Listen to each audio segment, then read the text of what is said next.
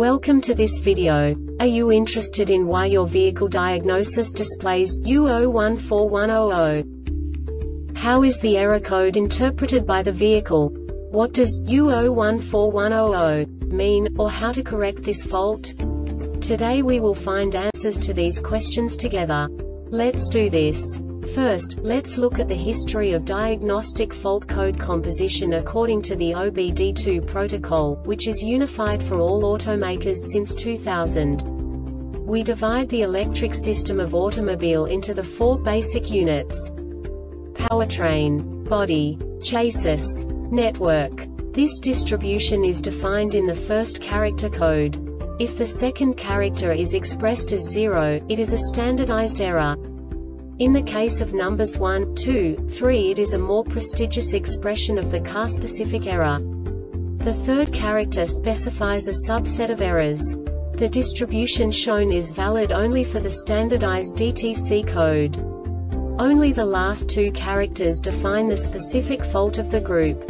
The add-on to the error code serves to specify the status in more detail. For example, a short to the ground.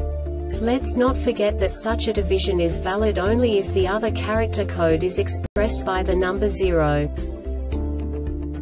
Our website airbagreset.sk produces useful videos for you. You do not have to go through the OBD2 protocol anymore to know how to troubleshoot any car breakdown. You will find all the diagnostic codes that can be diagnosed in a Chevrolet vehicles. Also many other useful things. The following demonstration will help you look into the world of software for car control units. You unbelievably can move the video a bit further.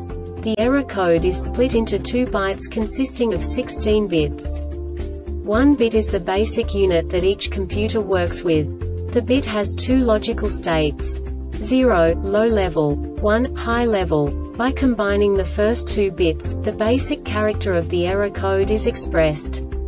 The next two bits again determine the second character. The last beat styles of the first byte define the third character of the code. The second byte is composed of a combination of 8 bits.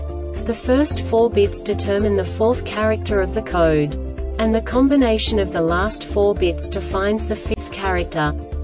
A single byte conceals 256 possible combinations. We now know in what way the diagnostic tool translates the received information into a more comprehensible format. The number itself does not make sense to us if we cannot assign information about it to what it actually expresses.